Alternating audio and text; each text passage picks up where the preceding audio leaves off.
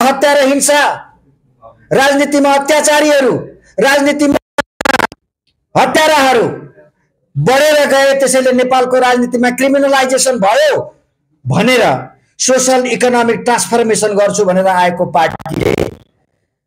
पुराना राजनीतिक शक्तिहरूले जे गर्छन् त्यत्तिको पनि नैतिकता नदेखाएर अनि नयाँ शक्ति स्थापित होला। के को निम्ति जुलुस निकालेको त्यो पोखरामा? अदालतको अगाडि किन भिडभाड जम्मा गरेको? के को निम्ति पुलिसले राखेको ब्यारिकेड भत्काएको? म छक्क पर्छु साथीहरूको बुद्धि देखेर। म तपाईँलाई एउटा कुरा भनौँ। राष्ट्रिय स्वतन्त्र पार्टीलाई चिट पनि पट पनि छ अहिले। रविजीले क्लिन चिट पाउनुभयो भने उहाँ यसै पनि हिरो हुनुहुन्छ। हिरो भएरै माला लगाएर बाहिर निस्किनुहुन्छ। राष्ट्रिय स्वतन्त्र पार्टी फेरि हिरो नै भयो नि होइन रविजीले गल्ती गर्नु भएको रहेछ अदालतले उहाँलाई गलत गरेको भनेर घोषणा गर्यो फैसला सुनाइदियो। भने फेरि पनि रविजीको पार्टीकै जित हुन्छ किनभने भ्रष्टाचारी सभापति हुनुभन्दा त्यहाँ एक सय एक सभापति छन् तिनले सभापतित्व गरेर राष्ट्रिय स्वतन्त्र पार्टी अगाडि बढ्छ। किनभने राष्ट्रिय स्व- स्वतन्त्र पार्टी नेपाली जनताको ढुकढुकी हो। राष्ट्रिय स्वतन्त्र पार्टी परिवर्तनको बहाको भन्ने आम नागरिकमा त्यो भावना छ। त्यसैले त्यो कुनै एउटा रविजी अथवा कविजी छविजीको होइन। त्यो आम बाह्र लाख मत उहाँले प्राप्त गर्नु भएको छ। एक्काइसजना सांसद संसदमा छन् नेपाली जनताको ट्याक्स खाएर बसेका छन्। त्यसैले त्यो प्राइभेट लिमिटेड कम्पनी होइन। त्यो नेपाली जनताको सम्पत्ति हो।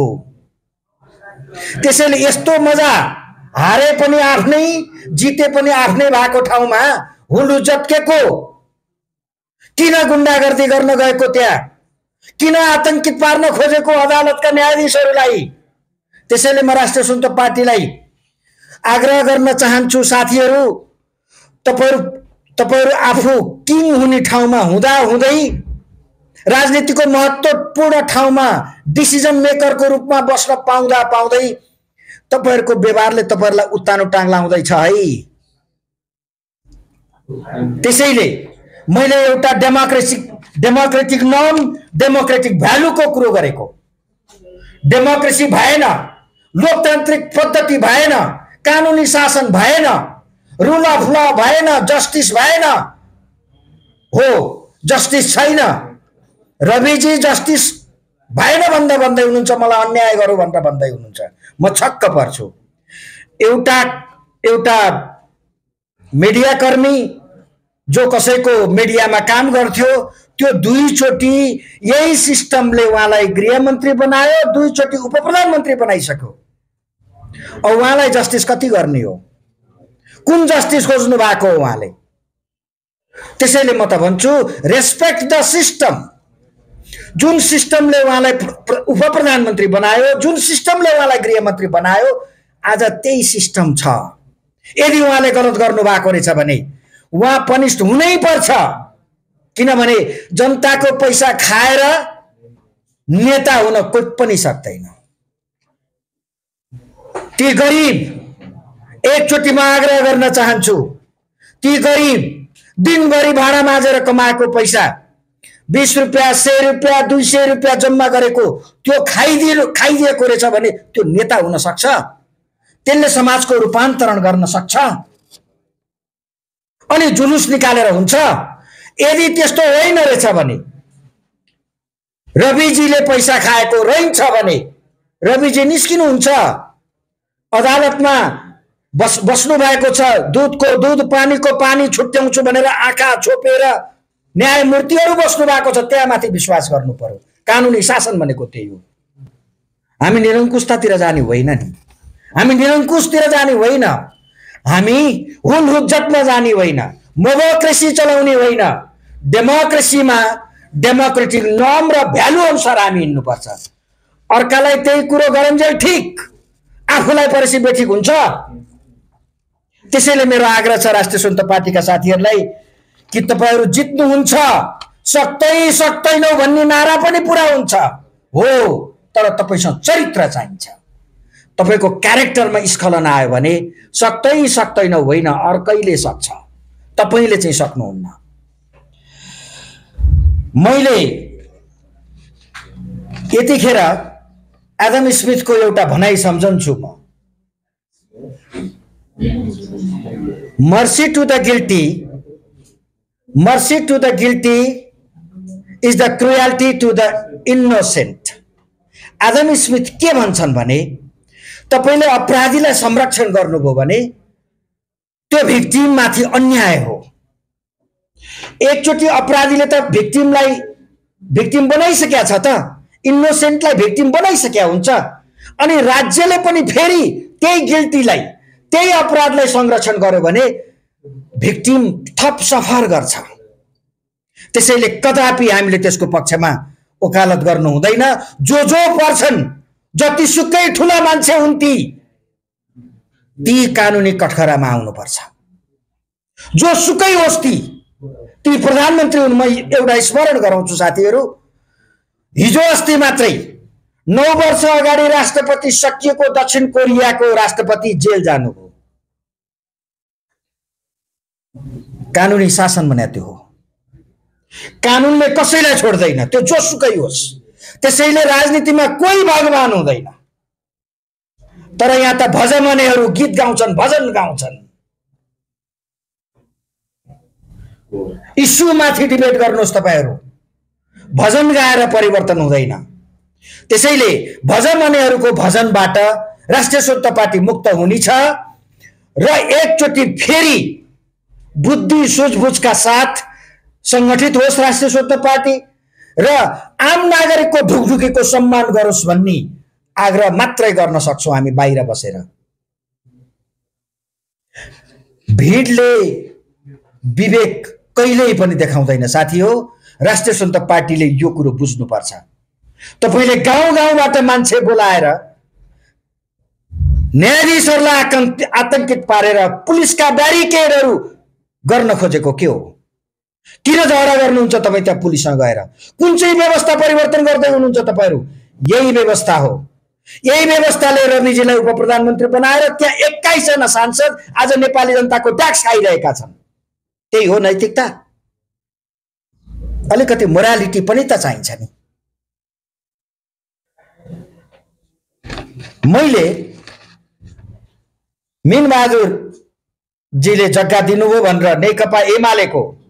मैले केही मिडियामा कमेन्ट गरेको छु। नेकपा एमाले मिनबहादुर गुरुङजीसँग जग्गा लियो यो विषयमा के हो भनेर मैले पनि केही ठाउँमा बोलेको छु। यो शुद्ध भ्रष्टाचार हो। मैले किन यसरी भ्रष्टाचार भनी त? भन्दाखेरि नेपालको भ्रष्टाचार निवारण आयोग छ हामीसँग।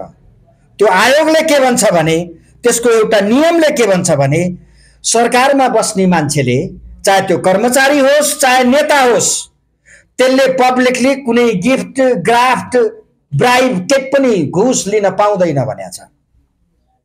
अनि प्रधानमन्त्रीले गिफ्ट लिन पाउनुहुन्छ त?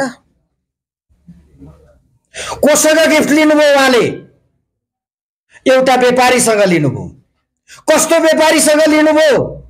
जो हिजो अस्ति मात्रै जेल परेको थियो कस्टडीमा थियो। बाटभटिनी सुपर मार्केटको ट्याक्स छलीको केस उहाँलाई चलिरहेको छ। तपाईँको ललिता निवासका काण्डहरूमा अदालत पछाडि लागेकै छ। अनि एउटा राजनीतिक दललाई अर्बौँ पर्ने जग्गा दान करोडौँ पर्ने घर बनाइदिन्छु। अर्को राजनीतिक दलको पैसा तिर्दिन्छु। अनि पब्लिकली अरूले मागे पनि म म दिन्छु भनेर हामीले सुनेका थियौँ र हिजो एउटा नेपाल एउटा टेलिभिजनको अन्तर्वार्तामा उहाँ रोको पनि मैले देखाएको छु। त्यसैले काङ्ग्रेस र माओवादीका साथीहरू यहाँ हुनुहुन्छ यसको सम्पूर्ण जिम्मेवारी तपाईँहरू हो। यहाँ एउटा पनि शुद्ध व्यापार तपाईँहरूले गर्न दिनु भएन काङ्ग्रेसका साथीहरू माओवादीका साथीहरू। शुद्ध व्यापार तपाईँले एकजनालाई पनि गर्न दिनु भएन। तपाईँले चन्दा माग्नुभयो तपाईँले अत्याचार गर्नुभयो तपाईँले आफ्ना कार्यकर्ता मार्फत उकास दिनुभयो इन्टरप्रेन्युरसिप गर्ने उद्योगीहरू भागेर गए यहाँबाट। एउटा मान्छे कराउँदैछ झापातिरबाट आएको माडवारी मुर्दाबाद लखेटौँ भनेर। राज्य केही गर्दैन। म छक्क पर्छु मैले यसो भन्दाखेरि यो त माडवारीको मान्छे पो रहेछ भन्लान्। नेपालमा दुईवटा क्लस्टरहरू छन् क्लानहरू छन्। एउटा माडवारी समुदाय र अर्को नेवार समुदाय। यिनीहरूसँग अन्टरप्रेन्युरसिप गर्ने स्किल छ। हो हामी विभिन्न जात जातिमा विभाजित छौँ। हाम्रा सबैका आफ्ना स्पेसिफिक स्किलहरू छन्। छेत्री बाहुनका एउटा स्किल होला। छेत्रीहरूको अर्को होला ब्राह्मणहरूको अर्को होला। नेवार समुदायको अर्को छ। हरेक जात जातिका आफ्ना स्किल छन्। यो स्किललाई त हामीले अगाडि ल्याउने हो। यदि हामीले आज माडवारी समुदायलाई दुत्कार्यौँ भोलि नेवार समुदायलाई दुत्कार्यौँ यो देश चलाउने चाहिँ कसले हो? के चौधौँ शताब्दीको हा र हुहुको निरङ्कुशतातिर अध्यारोतिर यो देशलाई लान खोज्या हो? तपाईँले जब काम गर्न दिनुहुन्न तपाईँका नियमले तपाईँका भातृ सङ्गठनहरूले म सुन्दैछु अहिले। म आज मिनबहादुरजी पनि आउनुहुन्छ नेपाली काङ्ग्रेसका एकजना प्रबुद्ध साथी आउनुहुन्छ अरे भनेर भनेपछि मलाई एकजना क्याम्पस सञ्चालकले फोन गरेर भन्नुभयो। नेभी सङ्घका विद्यार्थीहरू स्कुल स्कुलमा क्याम्पस क्याम्पसमा गएर तिनका खाता पाता हेर्दैछन्। डाक्टर साहब तपाईँ त बोल्नुहुन्छ बोलिदिनुहोस् है भनेर भन्दै हुनुहुन्थ्यो। मिनबहादुरजी मार्फत म आग्रह गर्न चाहन्छु त्यो अधिकार नेभी सङ्घलाई छ। यही हो हामीले व्यापार व्यवसाय चलाउने तरिका यही दिया हो। यसैको निम्ति लोकतान्त्रिक गणतन्त्र ल्याएको हो। तपाईँका सङ्गठनहरू उद्योग बन्द गर्छन्। उद्योगीहरूलाई बाध्य पार्छन् काम नगरिकन तलब दे भन्छन् बन्द गर्छन्। अनि तपाईँ माथिबाट पोलिटिकल प्याट्रोनेज गर्नुहुन्छ समर्थन गर्नुहुन्छ र उद्योगीहरू भाग्छन्। अहिले विद्यालय क्षेत्र क्याम्पस क्षेत्रमा कुनै नयाँ लगानी आउँदैन। तपाईँले स्वीकृत नदिकन तपाईँका कार्यकर्ता नभइकन स्कुलका कलेज खुल्दैनन् अनि त्यहाँ भएका मान्छेहरूलाई तपाईँका विद्यार्थी सङ्गठनहरू पठाएर आतङ्कित पारेपछि तपाईँले प्रत्येक क्षेत्र किन यसरी बन्द गर्दै हुनुहुन्छ? कसको निम्ति बन्द गरेको हो यो? किन बन्द गर्दै हुनुहुन्छ? हरेक मान्छे यहाँबाट व्यवसाय गर्न सक्दैन। यहाँ उद्योग धन्दा चल्दैन व्यवसायहरू चल्दैनन् विद्यालयहरू राम्रा छैनन् विद्यार्थीहरू बाहिर जान्छन् पढेका डाक्टर बाहिर जान्छन् अनि तपाईँ गोहीको आँसु चुहाउनुहुन्छ तपाईँहरू म छक्क पर्छु साथी हो विद्यार्थी बाहिर गए। किन जान किन किन बस्छ यहाँ विद्यार्थी? तपाईँका नेवी सङ्घ अखिलले अत्याचार गर्छ क्याम्पसलाई। तपाईँका तपाईँले निर्माण गरेको एउटा पार्टीले भिसी बनाउँछ अर्को पार्टीको विद्यार्थीले कालो मुसो दलिदिन्छ यो देशमा कुनै एउटा विद्वान बस्छ? किन गर्नुभयो त्यसो? त्यसैले मैले एकजनाको कुरो गरे होइन साथी हो। मैले यो पोलिसी सिफ्ट गरौँ भन्न मात्रै खोजेको हो। यहाँ काम नपाएपछि मान्छे विदेश जान्छ। यहाँ पढ्न नपाएपछि मान्छे बाहिर पढ्न जान्छ। यहाँ उपचार पाउँदैन मान्छे बाहिर जान्छ किन? तपाईँहरू कमिसन खानुहुन्छ। साथीहरू कमिसन खाइदिनुहुन्छ। उद्योग एउटा एउटा औषधि व्यवस्था विभाग भन्ने छ। म तपाईँहरूलाई एउटा कुरो खोल्छु। औषधि व्यवस्था विभाग नेपाली काङ्ग्रेसले अहिले अन्डरटेकन गरेको छ जस्तो लाग्छ। स्वास्थ्य मन्त्रालय त्यो औषधि व्यवस्था विभागले व्यापारीहरूसँग पैसा खाएर भाउ बढाउँछ। मैले स्वा स्वास्थ्य मन्त्री प्रदीपजीसँग अस्ति भेटेर कुरा गरेँ। तपाईँ यो भाउ फिक्स गर्ने कुरो हटाउनुहोस्। त्यसो गर्दाखेरि तपाईँले दस रुपियाँमा जुन बेच बेच्छन् अहिले यो यो ग्यास्ट्रिक हुँदाखेरि यसो खाने पेन्टअप सेन्टअप दस रुपियाँ पन्ध्र रुपियाँ बिस रुपियाँ पर्छ त्यो एक रुपियाँ दुई रुपियाँमा आउँछ। किन त एक रुपियाँको माल किन दस रुपियाँ पुग्यो? व्यापारीसँग घुस खान्छ त्यो त्यो औषधि व्यवस्था विभागले। त्यो मार्फत मन्त्री र सचिवले पैसा खान्छन्। तपाईँले यो त देख्नु भएको छ नि त। अनि सामान्य सुधार पनि नगर्ने कुनै पनि सुधार नगर्ने जनतालाई कुनै पनि सुधार कहीँ आश्वस्त नपार्ने त्यो वीर अस्पतालमा मान्छे उपचार गर्न जान सक्दैन। भिआइपीको लागि छुट्टै को भिआइपी गणतन्त्रमा कोही भिआइपी हुँदैन आर इक्वल प्रत्येक नागरिकलाई you're better than I'm better than you भन्ने अधिकार छ। यो हो गणतन्त्र भनेको। तर तर वीर अस्पतालमा भिआइपीको छुट्टै उपचार कक्ष। आम नागरिक जो गरिब छ जो चप्पल लाएर आउँछ काठमाडौँ जो फाटेको लुगा लाएर आउँछ त्यो त भुइँमा सुत्छ त्यसले उपचार पनि पाउँदैन। तर म तपाईँहरूलाई एउटा कुरा भन्छु। वीर अस्पताल चलाउन जति पैसा खर्च गर्छ सरकारले त्यसले फेयर बिजनेस हुने हो भने दसवटा अरू अस्पताल चल्छन्। जुन भाउ प्राइभेट अस्पतालमा छ त्यही भाउ वीर अस्पतालले लिन्छ त्यही भाउ टिचिङ अस्पतालले लिन्छ। वाट इज द डिफरेन्स न त्यहाँ ट्रिटमेन्ट हुन्छ न त्यो सस्तो छ। त्यसैले हामीले इकोनोमीमा केही रिफर्म गरौँ। हिजो हामीले चलाउँदै आयौँ प्लान्ट इकोनोमी चलाउँदै आयौँ। अर्थतन्त्रलाई नियन्त्रण गऱ्यौँ व्यक्तिका व्यवहारलाई नियन्त्रण गऱ्यौँ। आज कमसेकम चेन्ज गरौँ न साथी हो भनेर हामीले आग्रह गऱ्यौँ। पक्कै पनि चिट आयो साथी हो। मैले बुझिसकेँ। त्यसैले यदि हामीले रिफर्म नगर्ने हो भने स्ट्रक्चरल रिफर्म नगर्ने हो भने इकोनोमीमा हामीले रिफर्म नगर्ने हो भने हामीले व्यक्तिका व्यक्तिगत स्वतन्त्रता इन्डिभिजुअल लिबर्टी र फ्रिडममा हामी नजाने हो भने हामीले प्रत्येक नागरिकले व्यवसाय व्यापार गर्न पाउने व्यवस्था हामीले गरेनौँ भने हिजो एउटा टेलिभिजनले भन्दै थियो पाँच लाख घर खाली भए भनेर। खाली हुँदै जान्छन्। सटरहरू बन्द भयो भनेर भन्छौँ हामी। मलाई अचम्म लाग्छ। म एउटा कुरा आग्रह गर्न चाहन्छु। चिट त यहाँले दिनुभयो मसक्क मस्केर साथी। अलिकति फिलोसफीमा म अलिकति अध्ययन भएको हुनाले हुन्छ।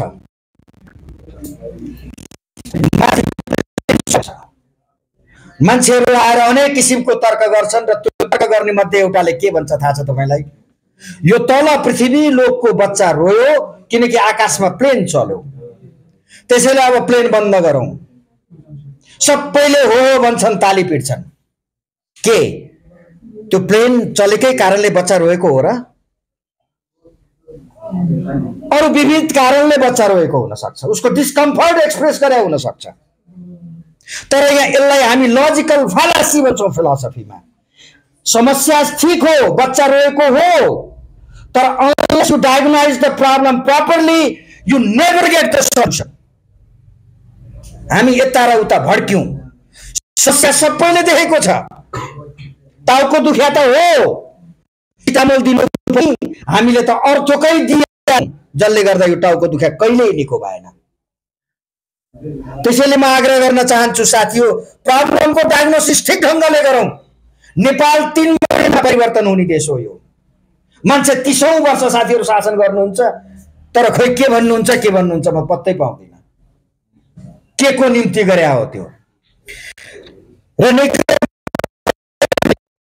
नेताको विषयमा मैले भने त्यो भ्रष्टाचारै हो र त्यसलाई कारवाही हुनुपर्छ।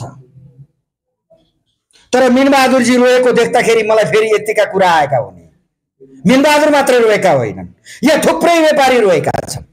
त्यसैले मैले यो कथा यी अलिक बाँधी र व्यापारीलाई तपाईँले अन्टरप्रेन्योरसिप गर्ने मान्छेलाई बिजनेस गर्ने मान्छेलाई इन्डस्ट्रियलिस्टहरूलाई रोउनुभयो भने त्यो देश कहिल्यै उँभो लाग्दैन साथी हो लेखेर राख्नुहोस् तपाईँ। यो त्यस्तो देश हो।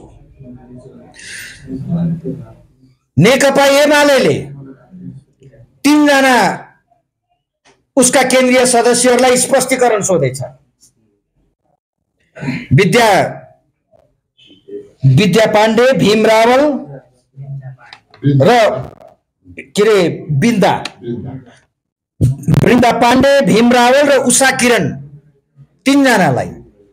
म तिनैजना साथीहरूलाई आग्रह गर्न चाहन्छु नेपालको संविधानले वाक स्वतन्त्रता ग्यारेन्टी गरेका छ। नेकपा एमाले संविधानभन्दा मिचेर संविधानको कन्ट्रास्ट हुने गरिकन आफ्नो विधान बनाउन पाउँदैन। त्यसैले म तिनैजना साथीहरूलाई अदालत जान भनेर आग्रह गर्छु। कुनै कुनै स्पष्टीकरण तपाईँहरूले नदिनुहोस्। भीम रावलजीहरूलाई म आग्रह गर्न चाहन्छु। उषा किरणजीहरूलाई आग्रह गर्न चाहन्छु। तपाईँ नरक्क परेर भने केपिजीले पेल्या पेलै गर्नुहुन्छ। तपाईँहरू बोलेको आधारमा कारवाही सुरु भयो। नेकपा एमालेभित्र तपाईँ अदालतमा जानुहोस्। एउटा मुद्दा चलाउनुहोस्। एकचोटि तपाईँले जब नेकपा एमालेको क्रुल निर्णयलाई डिफिट गर्नुहुन्छ त्यसपछि केपिजीहरूले हिम्मत गर्दैनन्। त्यहाँ तपाईँको वाक स्वतन्त्रता त्यो भित्र पनि वाक स्वतन्त्रता कायम हुन्छ त्यो नेपालको संविधानले ग्यारेन्टी गरेका छ र अन्त्यमा मैले विषयमा पनि अनेक किसिमका भ्रमपूर्ण समाचारहरू काठमाडौँ महानगरपालिका सेवा समिति र पशुपति विकासको विषयमा भ्रमपूर्ण समाचारहरू आएका छन्। एउटै मात्र हो त्यो पशुपति विकास कोष? उनले आफूले संरक्षण गर्न नसकेर सरकार कन्फिडेन्स नभएर सरकारी निकाय त्यो पशुपति विकास कोष भनेको। गृहमन्त्री सरकारको छ। सरकारकै लाइन हो त्यो। अनि सरकारी निकाय भएर कहिले महानगरपालिका म सुन्दैछु उहाँ त झापातिरको एकजना पर्साई थरका साथीसँग पनि डाङडाङ डुङडुङ गर्न सक्नुहुन्छ जानुपर्ने पो हो कि भनेर भन्दै हुनुहुन्छ अरे भन्ने सुनेको छु। यस्तो पशुपति विकास कोष जसले पशुपतिको सम्पत्ति संरक्षण गर्न सकेन। सत्तारूढका साथी पशुपति विकास कोष तत्काल विघटन गर्नुहोस् र गर्नुहोस् किनकि चाहिए त पैसै त रहेछ। हामीले देख्यौँ नि। पैसा कम भयो भन्ने कुरो आयो। टेन्डर गर्नुहोस्। तर कुनै एउटा समुदायलाई कसैले गरेको क्रेडिटलाई कसैको कामलाई अवमूल्यन गर्ने अधिकार कसैलाई पनि छैन किनकि नेपालको संविधानले हरेक नागरिकलाई सम्मानजनक जीवन जिउने अधिकार दिएको छ।